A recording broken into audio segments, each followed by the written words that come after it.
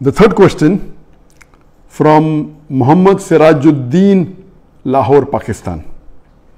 Most of the Muslim countries in the world are facing problems. They are being put on sanctions, being boycotted, they are being blacklisted, blackmailed, threatened, or attacked. Muslims in most parts of the world are being humiliated, they are being persecuted, oppressed, and even lynched. According to you, what is the solution? I do agree with this brother Muhammad Sirajuddin from Pakistan that unfortunately today we find in the Muslim Ummah, most of the Muslim countries, they are being blackmailed, they are being blacklisted, their sanctions have been put, they are being threatened, they are being attacked for no fault of theirs. Muslims are being humiliated, there are riots, Muslims are being lynched. What is the solution? According to me, the solution Allah gives in the Quran Surah Imran, chapter number 3, verse number 103, where Allah says that وَاتَصِمُوا بِحَبْلِ اللَّهِ جَمِيعًا وَلَا تَفَرْقُوا Hold all together strongly to the rope of Allah and be not divided. If the Muslim Ummah is united, then inshallah will be a strong force and no one will be able to bully us. The problem today is that the Muslim Ummah is divided and we are not close to the Quran Sunnah. The only way that Muslims can be united is holding the rope of Allah. The rope of Allah, it is the glorious Quran and the authentic hadith of Muhammad So if all the Muslims hold strongly to the glorious Quran, which is the last and final revelation of Allah subhanahu wa ta'ala, and the things of Prophet Muhammad, peace be upon him, that are there in the Sahih Hadith, if we hold strongly to this and if we're united, then we will be a strong force. Today, there are about 2 billion Muslims in the world. Out of 7.75 billion human beings in the world, more than 26% of the world population today, they are Muslims. If you see the example of China, China, about 1.4 billion, approximately 18% of the world population. Today, they are a big force and they're so big that they least bother about the rest of the world. They themselves are 1.4 billion. Do you know whatever social media that is there throughout the world is influencing the world, but it's not influencing China because they have banned Facebook, they have banned YouTube, they have banned Google, they have their own alternative. They have Baidu, they don't have WhatsApp, they have got WeChat. So they have got their own alternative and 18% according to them is, is a big chunk. That's the reason today they are number two in the world. But in many aspects they're number one.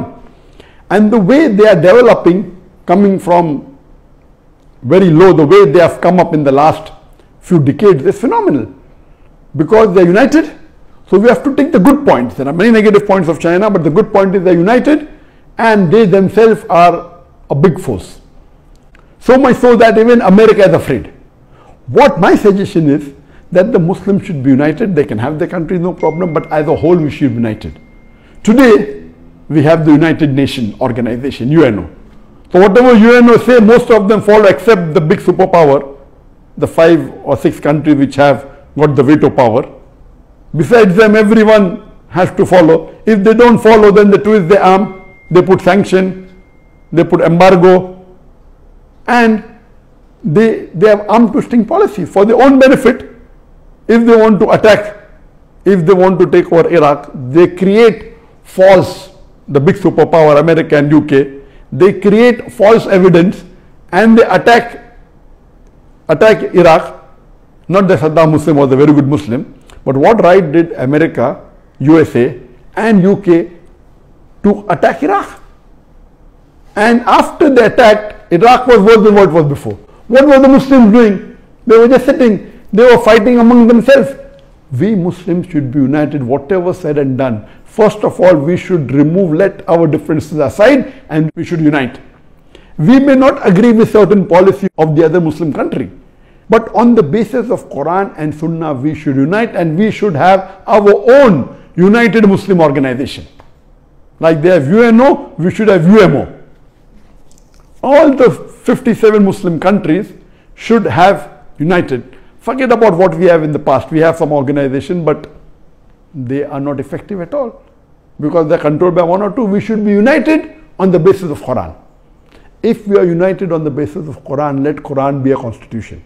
Practically, not theoretically. There are some Muslim countries, theoretically Quran is a constitution, but most of the things which Quran prohibited goes on in that country. It's only for theory. We should practically have Quran as a constitution and have united. And we should have alternative. Like how there is a World Trade Organization, WTO. We should have a World Trade Muslim Organization, WTMO. And I'll give you an example. We Muslims, we have the GCC, Gulf Cooperation countries. The six countries Saudi Arabia, Kuwait, UAE, Qatar, Oman, Bahrain. These six countries are close to each other and they produce oil, they have got petrol, and if they fight among themselves, the others will take advantage. So many years back, they made a corporation, Gulf countries Corporation, so that they can fix the price, so that everyone benefits. In this way, not only should we have for the petrol, we should have for palm oil. The two Muslim countries which produce majority of the export palm oil is Indonesia and Malaysia. These two countries.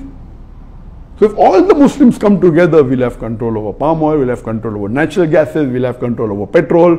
If all unitedly, we'll be a big force. And if someone tries to bully us, all of us will be united.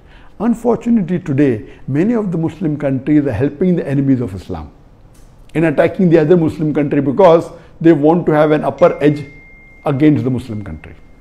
It is totally haram to do this. One Muslim country is being partnered with other non-Muslim country to overpower the other Muslim country. This is totally not allowed.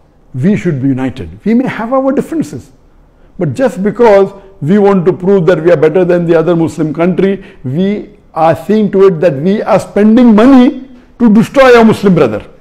Today we have some of the Muslim countries are spending billions of dollars to destroy the other Muslim country just because they want to be superior than the other Muslim country. This is against the principles of Islam. If all the Muslim countries unite, whether big or small, whether powerful or not, if all unite, if we have a united army, a Muslim army of all the countries put together, then no one will be able to blackmail us. You know that Allah subhanahu wa ta'ala has given us the black gold. We have the wealth. If we unite, we should use this wealth to promote Islam, not to destroy Islam. So if this is there, then we have all the international organization. If there is a WHO, World Organization, we should have a World Muslim Health Organization, WMHO. And these health rules should be based on Quran and Sunnah. Unfortunately, we are blindly following the rules made by the non-Muslims. Some may be correct, some may not be correct. So if we have unity amongst all the Muslim countries, all the 57 Muslim countries, more than 2 billion Muslims. If there is an Interpol, international police, there should be an Islamic pole, Islam pole, that is Islamic police. If we have un unity in all aspects of life, and if some Muslim country is breaking the law of the Quran and Sunnah, the other Muslim countries can get together and correct the Muslim country. Why should we allow the non-Muslim to interfere in the affairs of the affairs of the Muslims? So if we have an internal check amongst ourselves, and our constitution should be Quran and the Sahih Hadith, if we follow this, inshallah, within a few years, within a decade, Muslim countries would be on the top. And irrespective of what's happening today, we find the question posed about the Muslim leaders and the Muslim countries today, there is one silver lining.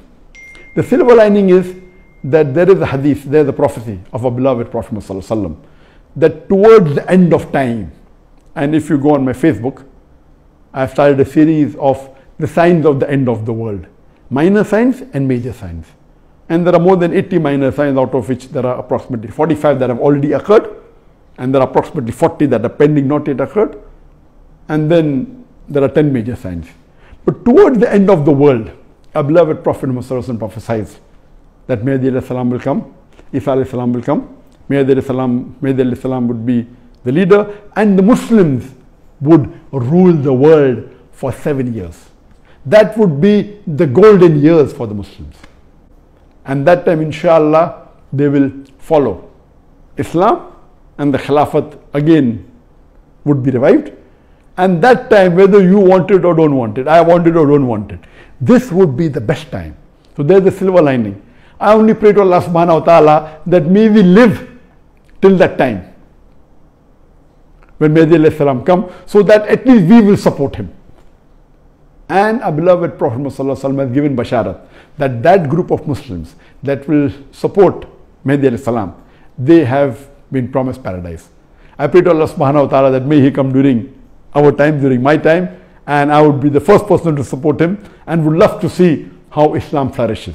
And we wait for that time. Till the time he comes, we don't know how long will it take.